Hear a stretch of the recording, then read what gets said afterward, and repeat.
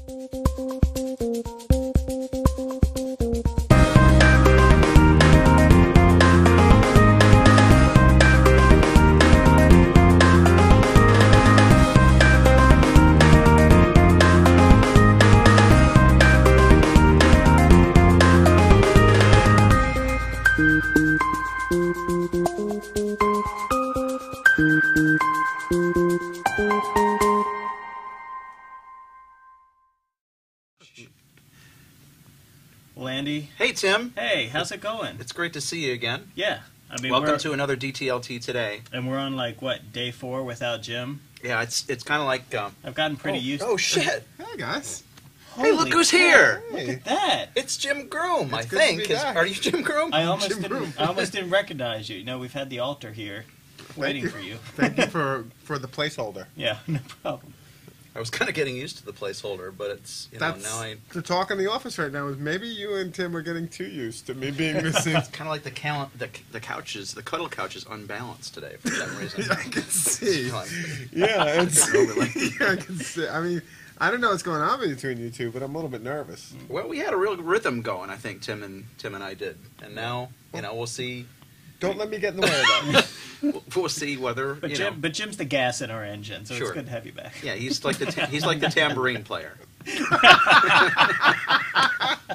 All right. Well, it sounds like you guys are off and uh, running again. Have a good day. thanks, thanks for joining us. That's the show. All right, great. Big Now, toe. what are we here to talk about? We got some box on the table here. We do. We've got What's up a with that? Microsoft Kinect, which is another awesome toy from George Meadows. Shout out to. George Meadows. Same guy who Awesome. gave Thanks, us the George. Newton and the Sony Mavica camera and stuff. But this he actually gave us to start playing around with because he has a 3D printer, a MakerBot, on order. And one of the things that we're looking at is being able to do three dimensional scans of people's faces with the Kinect and actually print them out with plastic. and all part of a bigger seminar that he's thinking about teaching alongside Tim in the fall called MakerBots and Mashups, Right. which is going to be insane. Yeah.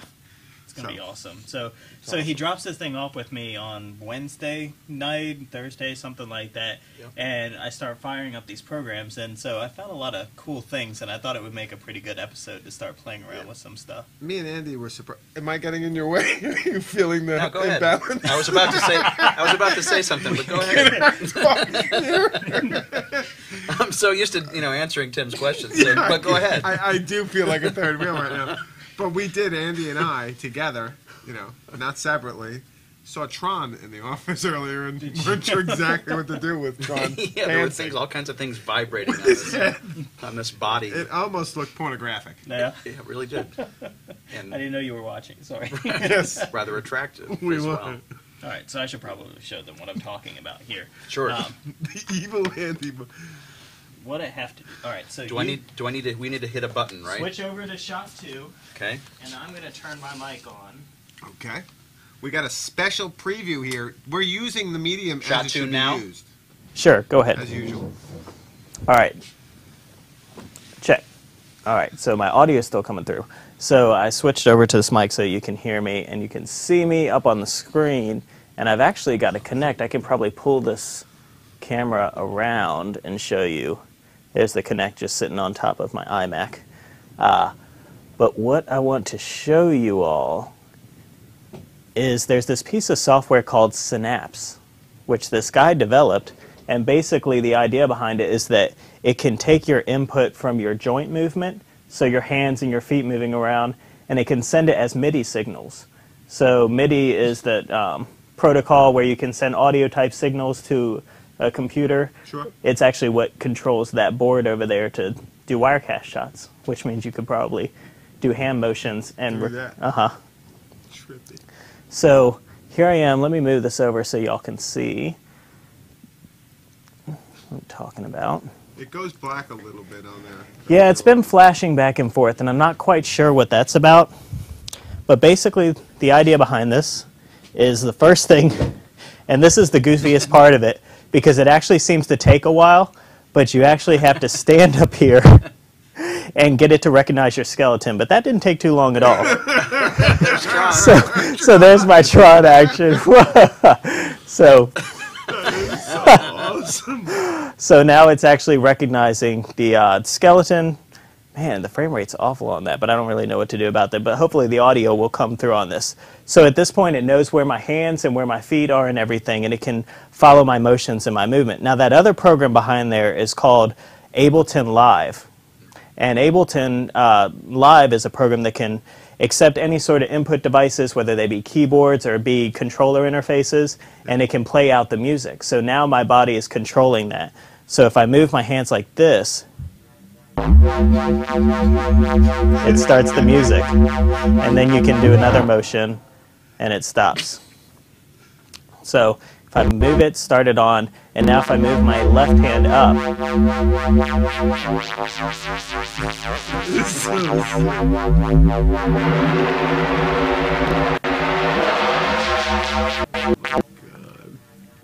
You were, showing us the head bob before too. oh right, that's the that's that's the the the Britney Spears. Here we go. Ready? Give me something.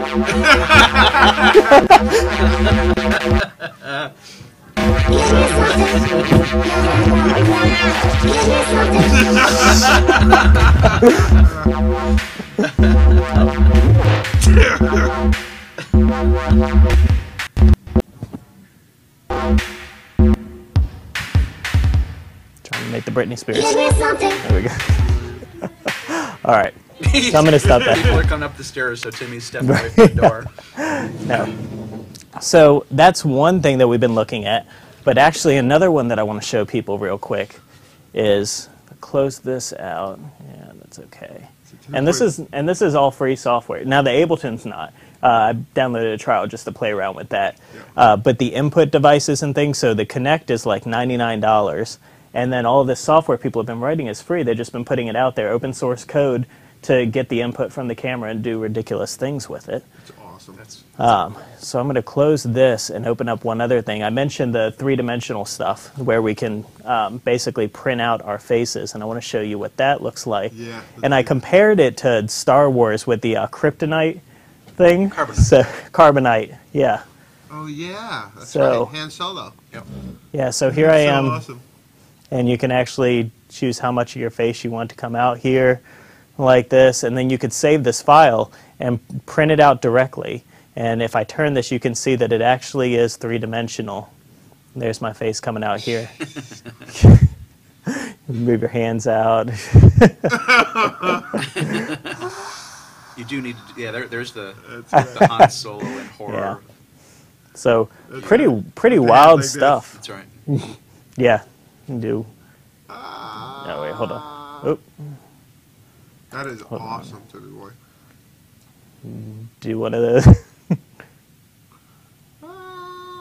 Just fade into the background. love it.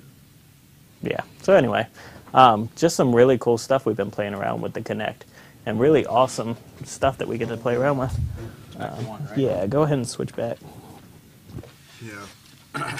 Telling you, that's Impressive, amazing Jedi. Yeah. Yeah, that's It is. So that's what I've been doing today and Friday. just Yeah, and you've been with- actually. Let's talk about this a little bit. Hmm. You've been actually talking to me again and again about the work I'm not doing. that seems to be your job. There's no need to be defensive. you're you're the big thinker. I am beginning to feel like not the big you're, you are representing us in the speaking engagements and the traveling and drinking and things. So I appreciate I appreciate your drinking work in and that the thing. matter. And I've been representing you well in every Well. single category. Good. So you'll be Good. happy to know. Good. No, that's that's awesome. How long did it take you to kind of get this stuff up and running? Well, like I said, he gave it to us like last Wednesday or Thursday, and I mean almost immediately with the um, the three dimensional printing program. I mean, it was already compiled. It was just you know open it up, run it, and there it was. And then today I just started now playing with the audio stuff. When do we get So. the bot? Because he was saying that he wants to keep the bot over at Trinkle. I think we should have the bot. We need to bring it over into the office. We really do. Uh, he's it's already on order, so it should be coming within the next several weeks, I think. So we could So. print out Timmy Boy as Han Solo, Hmm. a 3D version of that. Yeah, I So would that's love it. awesome. We got to do some DS106 art. Yeah, in the MakerBot. Uh, what I want is Doctor Oblivion stuck in the internet, and that would be like an amazing little action figure. Type Tell him thing. about the the frost in was it it's frosting? the Frostruder. Frostruder. Yeah, he, did, he says he hasn't ordered that yet, uh, but it's something that's possible where you're printing not with plastic, but with cupcake icing. So you can actually print three dimensionally these objects on top of cake and things, and with frosting, and it will print out you know whatever object you put in. So you could have your Doctor Oblivion cupcakes and eat them. That's awesome. Yeah, I'm That looking is forward to a Timmy Boy it's tons of fun. Star Wars Han Solo cupcake. Yeah, that's Sounds amazing. man. delicious. That stuff is great.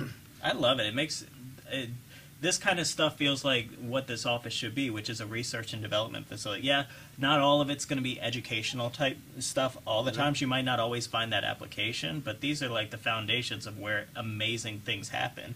And you want to be in with that community. You want to be the hackers and the geeks that are figuring this stuff out, and that's Right. where amazing things come from. Well, look, I think Timmy, I mean, uh, Noise Professor is saying he has a Z450 in his lab. Yeah, He has one of these. yeah. Uh, well, not the Kinect. They, that's a um, 3D printer.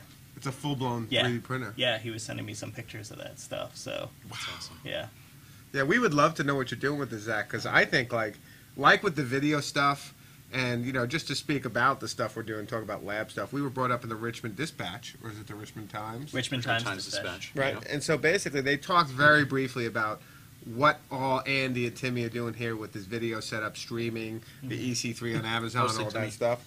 I mean, everyone, right? And then Yeah. the whole thing, like from New York City with an iPod Touch and a wireless connection, I could stream that stuff better quality than Justin Yeah, or anything right there. yeah, I mean, that's amazing to me. right. No ads, pennies per hour. I mean, it's incredible stuff. I mean, this is this is the research. This is the lab. This is where I want to be working. Yeah, And I'd be interested to see, Zach, what you're doing with that stuff and how we could kind of play with that. Because, you know, we've been pushing blogs and wiki here for so long, mm-hmm. and I still think, you know, that's always can be pushed. But for me, man, that's like air now.